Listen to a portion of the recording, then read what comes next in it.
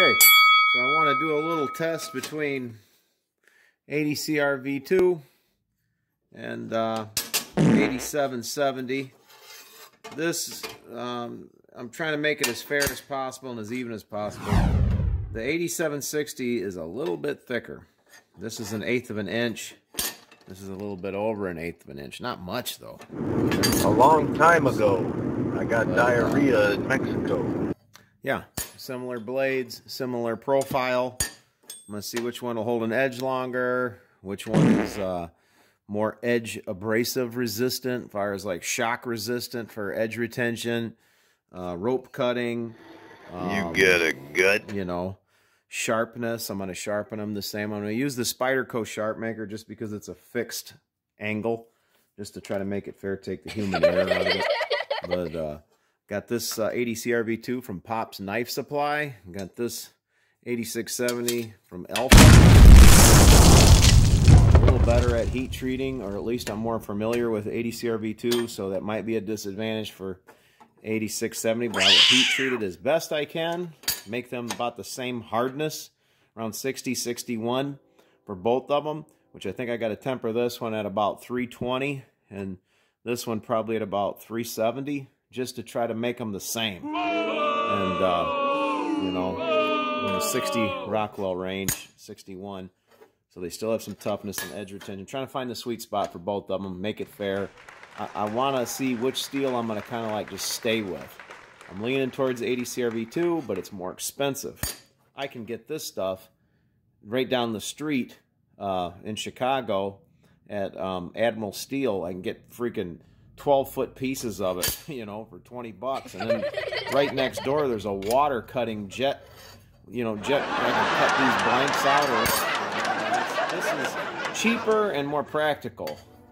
But this one, I'm, I'm, I feel better about. So this, hopefully, this test will help me determine what steel am I going to stick with and use mostly as my primary steel.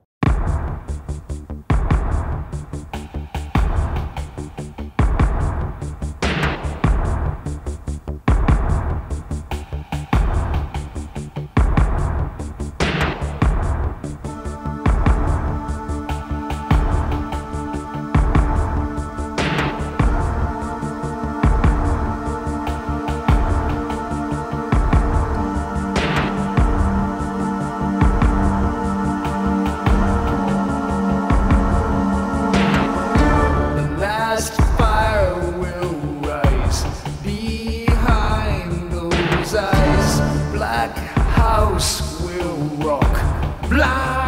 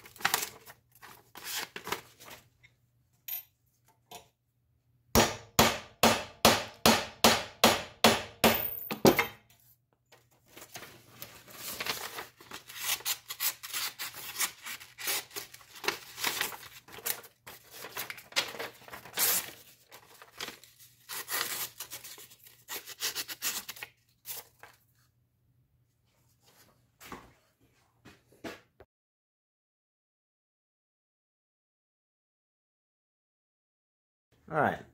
You happy now? My garage is destroyed. well, I did the rope test. Um, they were both still sharp. I just, as soon as it had a hang up on the paper is when I called it a, it stopped, but both of them are still very sharp.